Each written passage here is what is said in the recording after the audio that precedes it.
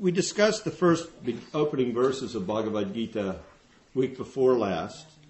We went up through verse 11. Basically, just setting the scene of, and we know in human society, there's always battle. There's a battle over this or that. There's always some confrontation. Generally speaking, especially in material existence, there's always a struggle. That's why this material world is, uh, is referred to the ocean of birth and death. There's always a struggle for existence here. The struggle is actually done on a day to day basis, although it's removed from our sight, generally speaking. None of us could survive a day without taking a life. Jiva, jiva, sajiva, nam. Every living entity, every soul is referred to as jiva in the Vedic tradition. Jiva is a fragmental particle of the Supreme Lord. The Lord, of course, is all encompassing, and we encompass a little body. And the body is not ourself, but in material existence, we accept it as ourself. The whole message of Bhagavad Gita is to take us to the platform of understanding our spiritual existence. But back to the jiva existing at the cost of another jiva. None of us can survive without eating, and everything we eat is at someone else's expense. And generally, everything we eat is at another living entity's life. Even the fruits and vegetables, these are living entities. Uh, even the vegetarian doesn't get off without killing. uh, the killing is there. Now, there are some very rare yogic disciplines, uh, yogis that will only take milk. Well, milk is a natural gift of nature, and there's no death involved. But very few in human society exist on that platform. I guess if you were extremely strict yogi and wanted to live free of killing, you could live on milk, nuts, fruits. It's possible. But then again, you do have to walk on the earth from one place to another. And there's no place you can walk that you wouldn't be walking on some living entity. Even a small living entity is a living entity. So to move from one place to another and none of us could live for 10 minutes without breathing. I don't know how long, what the current Guinness Book of World Records is on holding your breath or diving underwater, but there's yogis that actually can hold their breath for a considerable amount of time, but they basically shut their bodies down entirely. Just turn off everything. But every time we take a breath, there's a life involved. There's living entities everywhere in the atmosphere. So at, at their expense, even in our breathing, there's death. So that the, this is the world. This is the material existence that we, we now are faced with. So there's a battle. We may not be on a battlefield, but we're certainly the microbes that we kill, the ants that we walk upon, the, the fruits and vegetables that we may eat, uh, the grains that we eat, all of our existence comes at the expense of someone else. And in human society, we know that there's always confrontation. One party has something the other party wants. One party wants to dominate the other, either for their land or their resources. And throughout history, one battle and another battle is fought. This particular battle battlefield of Kurukshetra is not like those battles. In this battle, there is a party that is wanting to take over the reins of government, the reins, the administration, to put a, a, a righteous king in his place, and to displace an unrighteous ruler who out to exploit the citizens again, we, it's hard for us. We don't have a frame of reference because at least now on this planet, practically every government lives at the expense of its citizens. There's very few governments on the face of the planet where they really are looking out for, for the citizens. maybe there was a time even in this country where the general principle was the government was for the people. And now the government is for the rich people. Governments, when they get to a stage like that, we know in history time and again, material nature corrects the situation. So even you have a Roman Empire, which is a you know, great empire, it degrades and then there has to be a reckoning. This battle is, is a battle of reckoning where a rightful, righteous king is not in control of the government. He's not in his position, and he's been pushed aside by people that are that are not looking out for the best interest of the citizens. And they're really, although the Vedic culture 5,000 years ago is so much more advanced than ours, even those people that are living with an exploitive motiva- motivation, they really have, have a lot of good characteristics that we don't see in our current environment. So remember, this battlefield is at the end of the last age of man, 5,000 years ago. Four cycles of ages Satya Yuga, Treta Yuga, Dwapara Yuga, and Kali Yuga. So this battle is happening just, just at the end of Dwapara Yuga and before Kali Yuga begins, 5,000 years ago. There's more character in the fabric of mankind at that time. And from there, it's all downhill. So we're on the downward spiral now in Kali Yuga. Very, very, very bad age for us. Governments, as I said, are exploitive. One man is out to exploit another man. One man is out to exploit a woman. I mean, it's just, there's a lack of much good to see in human society today. That isn't to say we don't have some nice philanthropic and altruistic organizations out there. We have our Billy Gates. I don't know if we have a Peace Corps anymore, but we have organizations like that. They, they, they look out. Uh, we have our Mother Teresa's and the people that come in the wake of people. They, they want to take care of the suffering in humanity. Bhagavad Gita is, is much deeper than that. Bhagavad Gita means to get to the true, the true difficulty of existence. And that difficulty is not based on anything related to the body. The body is destined to die no matter what we do for it. We could save the, ch- the starving children. We might be able to uh, make some modifications here and there, but ultimately, we're living in a land of death. If we can see that, we can begin to take interest in our spiritual life. If we think this is the land of milk and honey, then Bhagavad Gita is not a text for you. This text is for those that see the reality of our predicament. And the reality is we're living in a place that is entirely foreign to our true spiritual life. Entirely foreign. We're eternal. And this environment is in, ex- is in opposition to our spiritual nature of our spiritual eternal existence. Our true nature is Sat Chitananda, eternal, full of knowledge and full of bliss. This text is meant to bring us to that level of consciousness. The setting is not important.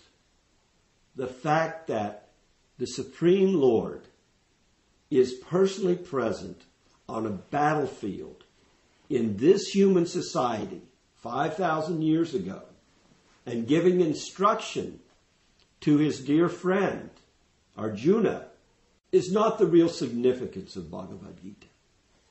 The real significance of Bhagavad Gita is Arjuna needs to see his situation in material existence. And we all have different situations. The instruction is the same for all of humanity, no matter what our situation is regarding our true spiritual existence. When the Lord instructs Arjuna in Bhagavad Gita, we all benefit from those instructions, although I doubt any of us in this room are warriors. Arjuna was a warrior.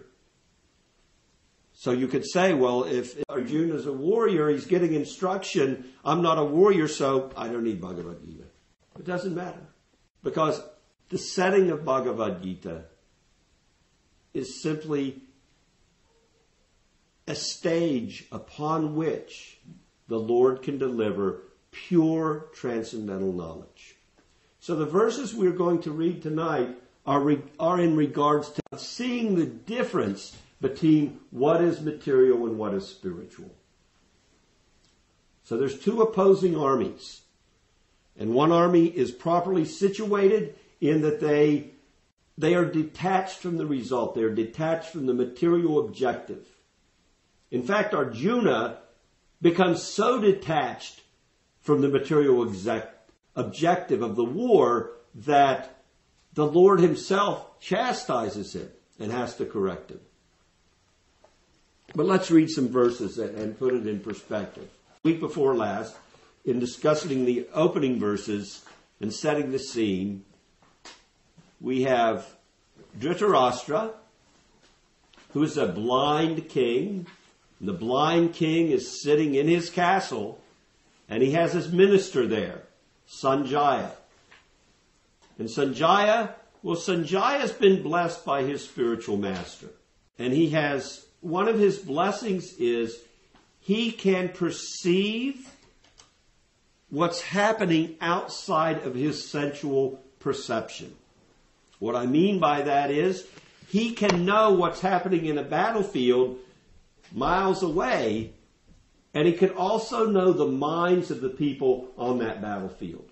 And with that mystic opulence, which his guru has granted him, he's able to relate to the blind king what's happening. The blind king is truly the instigator of this battle. His motivation is he wants his son to become the ruler of the world, although he's not the rightful heir to the throne. And he's not the rightful heir in a couple ways. He's not the rightful heir legally, but he's also not the rightful heir because he has no he doesn't have the proper qualities and character to do the best for the citizens of the kingdom. So we open with the scene where the king is requesting his servant, his minister, Sanjaya, tell me what's happening. And the king's a little concerned. He's afraid that the battle may not be, go on. He's afraid that there might, why? Because it's a place of, it's a religious site. It's a holy ground that they're going to fight on. And he's thinking, this holy site is so spiritually powerful. We're aware of this. Even today, we see different cultures and different religions. When they go to their religious holy places, you know, Mecca, or other places like that, depending on the religious tradition. These really have a spiritual influence when you, when you visit these places. They truly affect the heart. So he's afraid that this religious place is going to adversely affect his sons to the extent that they'll just want to make peace. So he questions, please tell me what's happening on this battlefield. And Sanjaya relates it, and he tells the king, tells the king that your son is there. He's assessing the situation. So week before last, we went over the verses where his son Duryodhan is talking to the the commander in chief. So Duryodhan is is the king's son. He's the prince, and he's going to the to the head military man and saying, okay, here's here's how everything's like this. All the all of the soldiers are there, and he's a little The situation with his commander is a little unique. His commander in chief is a man of character. How much character? So much character that when his opponent earlier in life was granted a great boon, a benediction, that his son would be able to kill him. Do, are you following? Mm-hmm. Okay, so Dronacharya, the commander in chief, he was earlier, he had a confrontation. The gentleman he had a confrontation with was given a boon that his son would be able to kill Dronacharya. After the child was born, the best military teacher around was Dronacharya. And the gentleman went and he said, Here's my son. Will you train him how to be a warrior? He knows this boy can kill him, but still he trains him. Who would do that? A man of character. This is my duty. I'm a teacher. He wants to learn the science and the art of war. I'll teach him the art of war. Even if there's a chance later in life he'll use that art of war against me. Duryodhan is using that as leverage to instigate anger in his commander in chief. He's afraid as commander in chief, he's afraid for one reason that this is your student. And in fact, all, most of the military participants on the battlefield on both sides were the student of Dronacharya. So he's a little concerned that, that he'll, he won't do his job properly. So he very diplomatically tries to stir up his anger by saying, this boy can kill you. You need to be careful. And he ends all this diplomacy he ends the diplomacy basically saying, at the least, we all have to protect grandfather Bhishma. Grandfather Bhishma is a great warrior, a Maharatha. We can't conceive of such warriors as this. They can themselves fight with 10,000 warriors. Different age of men. We talked about this week before last. Completely different age. They have a, they had atomic weapons that at that time that were controlled by mantra. These were great mystic warriors controlled by mantra. Their atomic weapon, when they shot it, it only killed the person it was going at. It didn't blow up a whole city and kill thousands of innocent women and children. It killed that one person. They had great mystic opulence. It's hard for us to conceive of it. As we discussed, it's important for us to understand that this battlefield scene is a true event in history. A lot of scholars will look to Bhagavad Gita and they will praise its spiritual significance and the uniqueness of the instruction, but they'll explain the battlefield and everything else in an allegorical way this means that and that means this. And no, this really happened. So we're going to take off with text 12 this evening. Duryodhan has spoken his piece, and now we're going to have a vision of the, what's happening on the other side. This is all preliminary to the battle. In fact, the whole Bhagavad Gita is spoken before the battle begins. So Bhishma, grandfather Bhishma, has just been praised we always know what generally happens before a battle. To get every, everybody fired up, there's a lot of noise. I don't think they do that much today. They just start shooting. But. No, they do. They go like,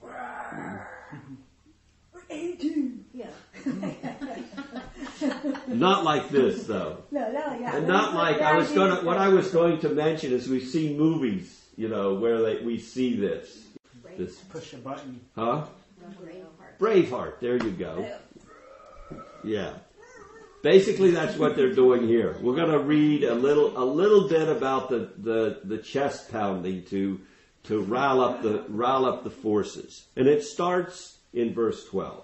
Then Bhishma, the great valiant grandsire of the Kuru dynasty, the grandfather of the fighters, blew his conch shell very loudly making a sound like the roar of a lion, giving Duryodhana joy.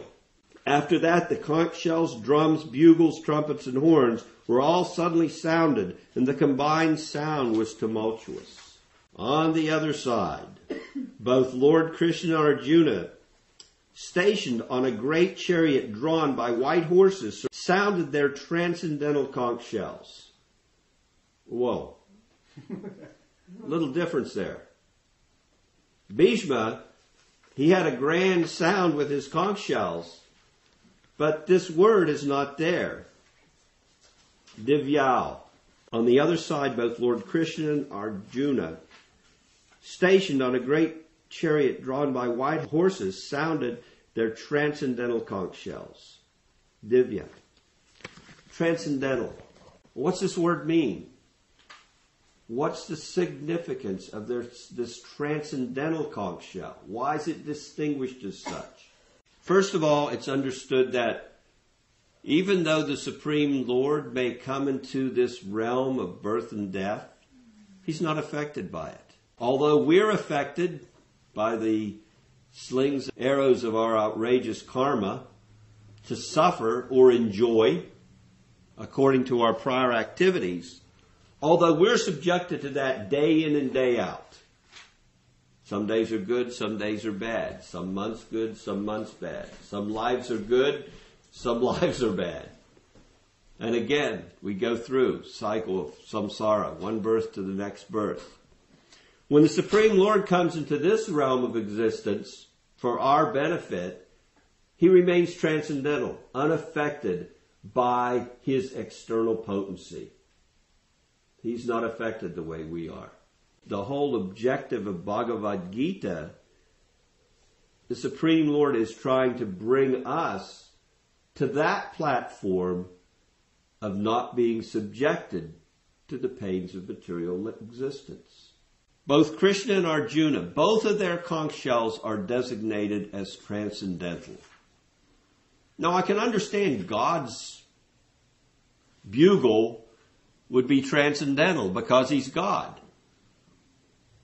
But what about Arjuna? What makes Arjuna's conch shell transcendental?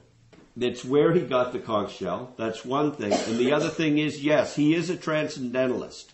But there's a unique quality of a transcendentalist.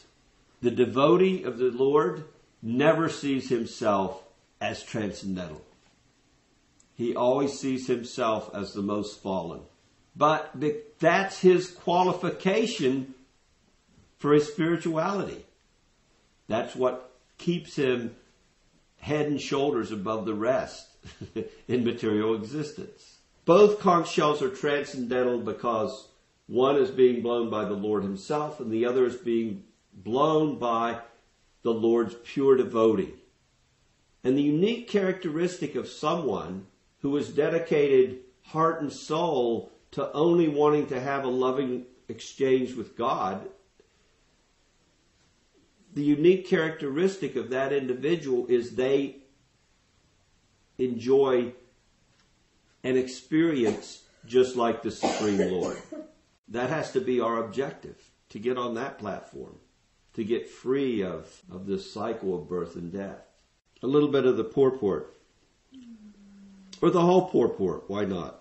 I was going to read the next purport, but we'll read this one. In contrast with the conch shell blown by Bhishma Dev, the conch shell, conch shells in the hands of Krishna and Arjuna are described as transcendental. The sounding of the transcendental conch shells indicated that there was no hope of victory on the other side because Krishna was on the side of the Pandavas. Jayastu Panduputranam Yesam Pakse Janardana. Victory is always with persons like the sons of Pandu because Lord Krishna is associated with them. Whenever and wherever the Lord is present, the goddess of fortune is also there because the goddess of fortune never lives alone without her husband. Therefore, victory and fortune were awaiting Arjuna, as indicated by the transcendental sound produced by the conch shell of Vishnu or Lord Krishna. Besides that, the chariot on which both the friends were seated had been donated by Agni, the fire god, to Arjuna, and this indicated that this chariot was capable of conquering all sides. wherever it was drawn over the three worlds. Well, I have a question. Why is Krishna helping one side and in opposition to another? Isn't God for all? I just have an answer that I was told at one point by somebody, but um, wasn't Arjuna given the option of hit of Krishna's army or Krishna himself only as an advisor? Does that answer my question? Uh, maybe not. No, Krishna, did- he didn't, Yeah, wasn't Arjuna didn't get the option. Oh. Duryodhana It was got the option. Duryodhana Oh, got okay. the option. Okay, I just knew that someone got the Yes. option. Yes, ma'am. Uh, I read somewhere where Ar- Arjuna, already, ar- uh, you know, he was already, he came with Krishna. They came together to this to this world, To this plane, to this plane. yes. They came together. But that's on a much more, that's a more esoteric subject matter. Well, this is my question. My question is, if God is the God of every living entity, why in this situation is God helping Arjuna and not helping Duryodhan? Because it's what's But right if for the world. Everyone in the battle that died attained salvation. He helps them. Okay, that's one perspective. It kind of answers. Or just because it's the right, I mean, it's the way it's supposed to end, I guess. I know, the right, the right people end up in control. Is he trying to cle uh, create a new beginning or a clean slate? What does it mean God's, my question is basically very simple. Is God partial? Is he partial? No, he Is he partial to one side and against world. another side? He appears partial because of field. the material energy, and it's our being in delusion that he appears partial. The sun is covered by clouds, but the sun's still bright. It's just our vision that can't see it, our perspective. That's a good, we're going in the right direction. Well, or if it just comes down to it, if, if, I mean, if it carries out everyone involved's karma the way it's supposed to be, it would seem that God would favor one person's life over another, but you're, but it's not true. I mean, it's Right, just yes. What is supposed to happen? That's correct. We can understand that in, within material nature, everything works out perfectly. exactly. However, we are in illusion where we not be able, to, we may not be able to perceive that everything's working out. Yes, ma'am. He wants to deliver the pious and annihilate the miscreants. That's getting closer. Yes. The rain down. rains on the rock as equally as on the earth, but the earth accepts, is in a position to accept the rain, Yes. but the rocks aren't. Yes. So the same way. So there's where we're at. That's where we're at. Explain that a little bit. Let's explain that and let's put that in perspective. There's truly no partiality on this. God is not partial. He's equal to everyone. But he does say in Bhagavad Gita, Ye yatamam prapadyante.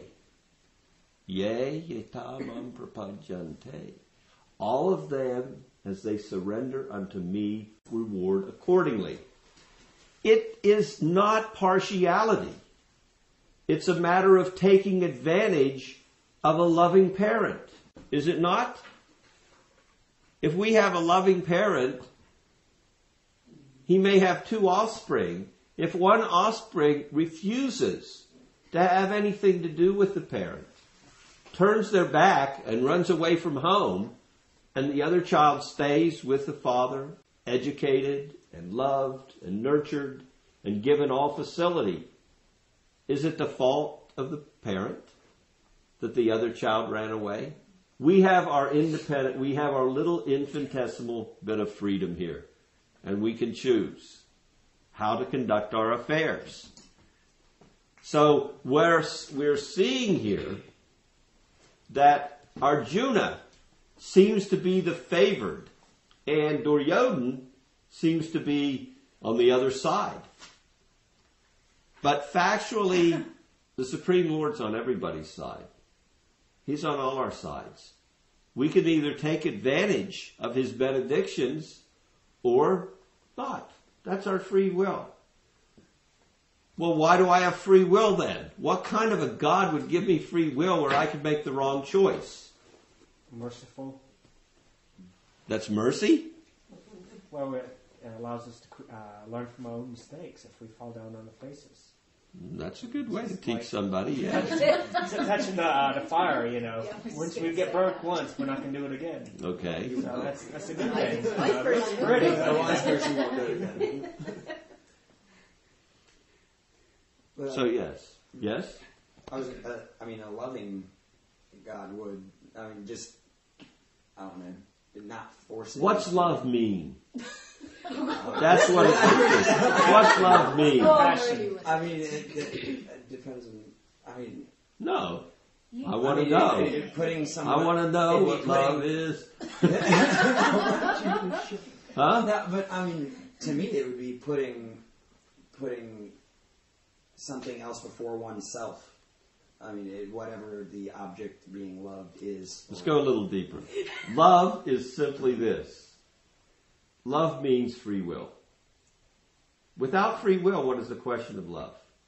If I don't have a choice in Yeah, the matter, right? That, that's If I don't have a choice in the matter, how can I, how can we call it love?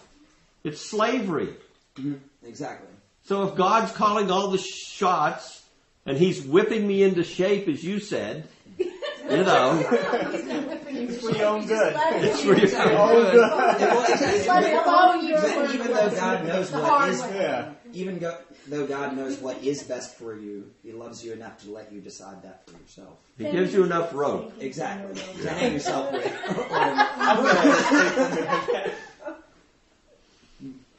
So that's there. We have our choice. We have our free will. Arjuna has chosen. He's made his choice. His situation, he's on the side of Krishna. He's fully surrendered to Krishna. My dear Lord, from this day forward, whatever you want, I go along with that. Unfortunately, for the other side in this particular battle, most of those, I mean, there are devotees on both sides, but most, the overall leadership is, is not headed in a godly direction. We have transcendental conch shells, and we know why they're transcendental because both the Lord and his pure devotee who's acting on his behalf are truly on the same platform. Now I know in, in Christianity they say that Jesus is, is God. Of course, Jesus said he was the Son of God. Well, both statements are correct. Why? Because the objective is the same. Even if Jesus is or isn't the supreme Lord, if he's God or he's the Son of God, because their objective is the same, the result of his association will be the same no matter what his position. And if you really study the mysticism of Christianity, you'll come away with that understanding. Similarly, that's why Arjuna's conch shell is transcendental. He's fully surrendered to the Supreme Lord, so his involvement on this plane of existence is not exploitive. His plane, his existence here is completely in service. That's our choice. We can live on this plane either in an exploitive mentality or in a service mentality. Lord Krishna blew his conch shell called Panchajanya. Arjuna blew his. The Devadatta and Bhima, performer of Herculean tasks, blew his terrific conch shell called Pundra. King Yudhisthira, the son of Kunti, blew his conch shell, the Ananta Vijaya, and Na- Nakula and Sahadev blew the Sugosha and Manipushpaka. That great archer, the king of Kasi, the great fighter, Sikandi, Dristadyumna, Virata, the unconquerable Satyaki, Drupada, the sons of Drupadi, and the others, O king, such as the mighty armed son of Subhadra, all blew their respective conch shells. At that time Arjuna, the son of Pandu, seated in the chariot bearing the flag marked with Hanuman, took up his bow and prepared to shoot his arrows. O king, after looking at the sons of Dhritarashtra drawn in military array, Arjuna then spoke to Lord Krishna these words. Arjuna said, O infallible one, please draw my chariot between the two armies so that I may see those present here who desire to fight and with whom I must contend in this great trial of arms. There's some great significance to the fact that the fighters on, on the side of Arjuna, the Pandavas, because they're all situated transcendentally, because they're all fully surrendered to the Supreme Lord, actually from a military view, viewpoint, the battle was kind of stacked against them. Because of their transcendental position, they had every advantage. Not only do they have transcendental conch shells, but they themselves are in a transcendental position. What's that mean to us? That they're situated in a transcendental position. That's core to an understanding of, of Bhagavad Gita, is situating oneself in a transcendental position. In life, that's our choice at every moment. We have this freedom to choose whether to be in the transcendental position or whether we conduct our affairs in the position of exploitation. It's important for us to see it in a proper perspective. And that's why the setting, although we mentioned earlier, it's not truly significant to the overall message of Bhagavad Gita. It's significant to Arjuna as the recipient of the knowledge. Because Krishna takes on the position of teacher, of guru in this great text. And in taking on that position of teacher, he gives specific instruction to Arjuna according to Arjuna's position. Arjuna is a warrior. And as we're going to find out, Arjuna becomes bewildered for our benefit. Arjuna is on the transcendental position. The devotees of the Lord who are truly fully surrendered to God don't generally become bewildered in this material existence the way we do. Does that make sense? We become bewildered here. Things get the best of us because our consciousness is covered over as we chant every week. We take to the process of Krishna consciousness. Why? Because we need to cleanse our consciousness we have to come to the spiritual platform of consciousness. And we first have to see how the living entities, and particularly human society, how the consciousness is affected by association and circumstance. And throughout Bhagavad Gita, we're given much instruction where it's explained that within this plane of existence, there's three levels, three general levels of influence upon us.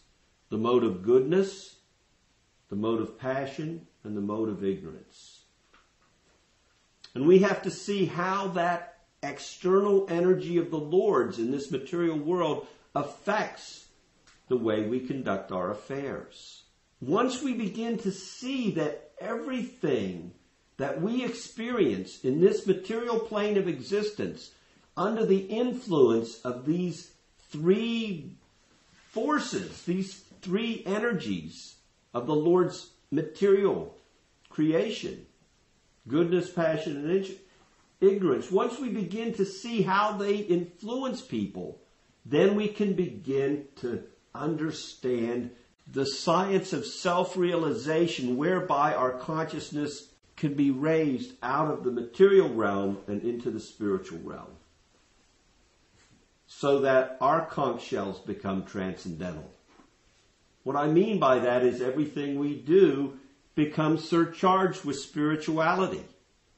Even though it may appear the same. Grandfather Bhishma also blew his conch shell, but it was not designated as transcendental.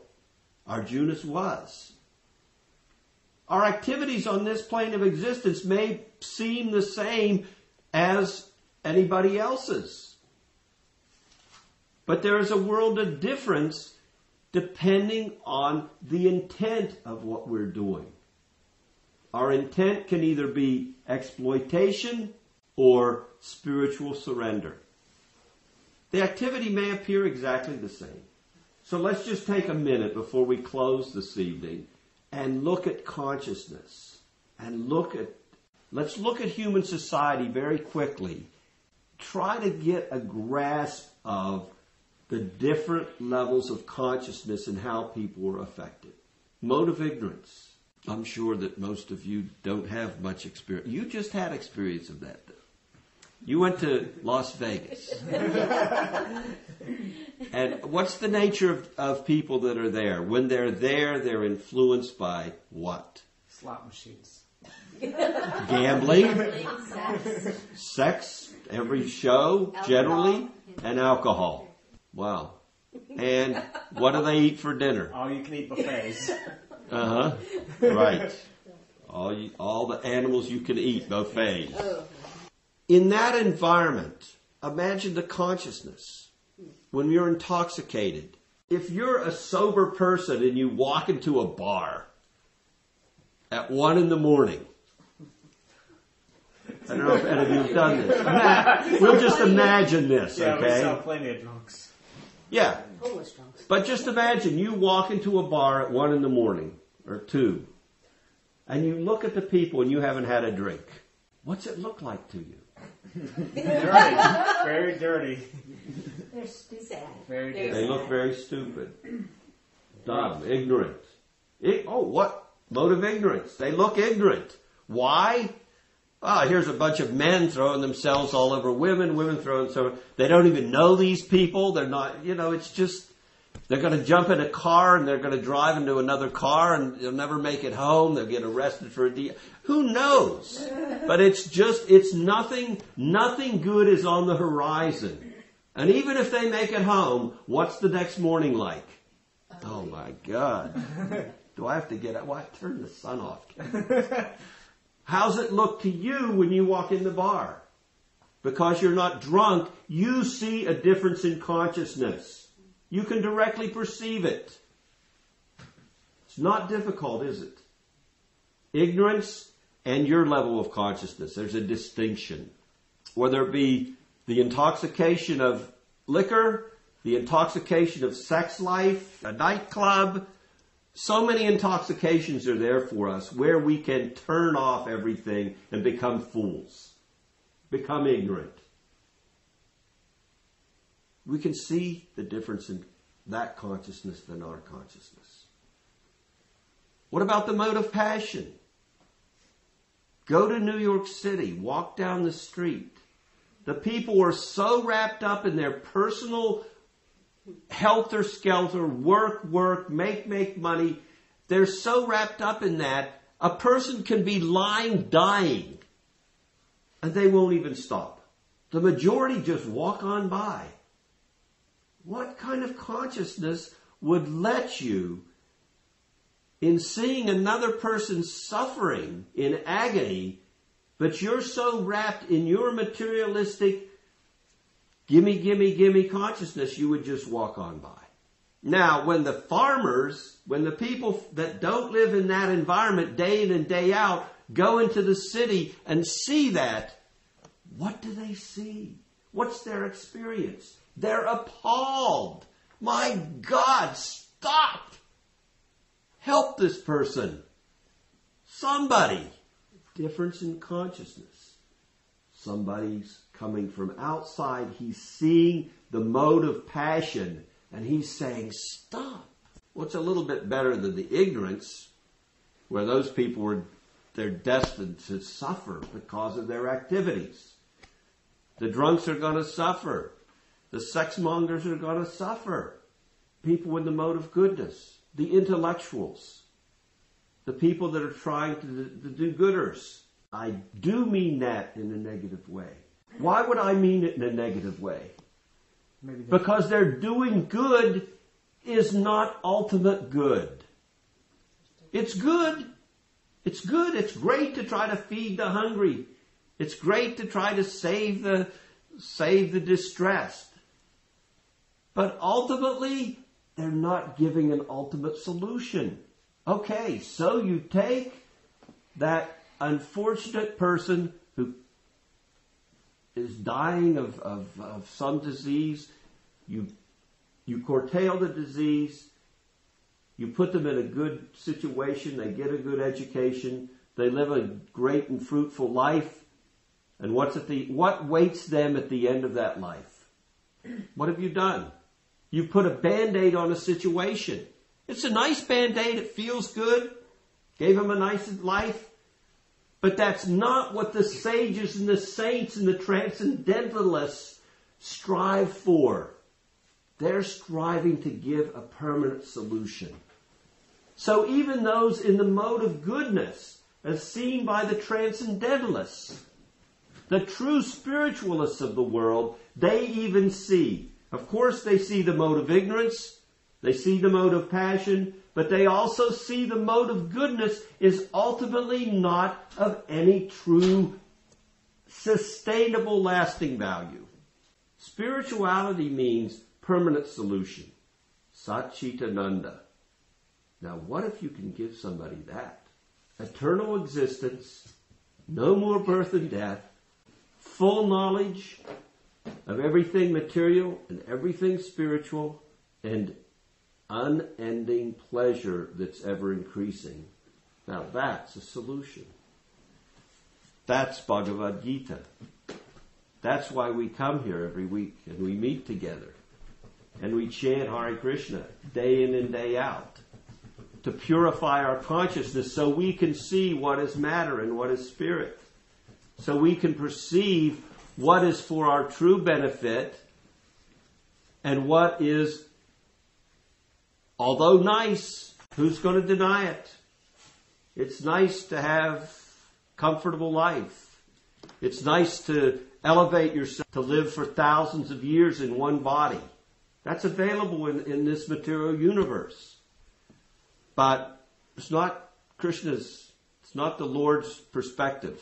What's he say about it? Ah Brahma Bhuvana Loka. Ah Brahma. Brahma. Brahma's planet, the topmost planet. From the topmost planet, Abrahma Bhuvanaloka. From the highest planet to the lowest planet. Every, every place in this material world is miserable. Ultimately, wow. This text is meant to bring us beyond that misery. Permanently a permanent solution.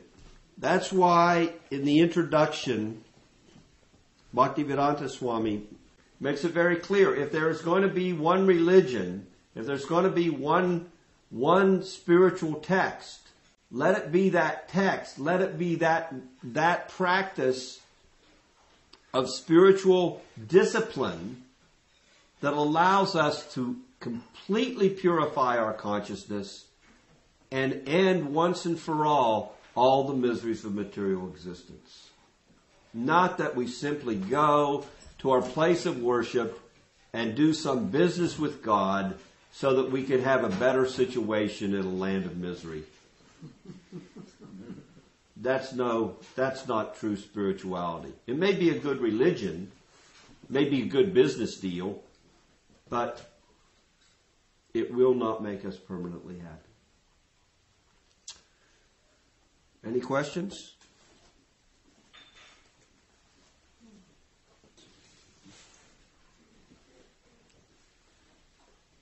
What we're all in agreement? So with the, to get help people that need to be helped, like like these drunks we saw on the streets in Vegas, Right, you know, looking for money or what they're going to just turn around and spend on more alcohol. right. Um, how do you help them? Like become teach them to be more spiritual. I mean, other than like, what if you can get them in a better place, and then try to teach them a spiritual life? Mm-hmm. That's the whole. Therefore, if is you it, can, is it necessary to regulate the poor regular. through the state to, uh, to get them to a better place? Yes, the whole program of spiritual culture, as Krishna outlines in Bhagavad Gita, the whole system of Varnashram Dharma, He, he explains there are four classes of men and four stations in life, four stages of life, is to gradually uplift everyone to the spiritual platform. You're not going to take the someone completely immersed in the mode of ignorance and put them into a class here Yeah, no, and have them comprehend this level of spiritual discourse. It's like baby steps. Right. Try to help.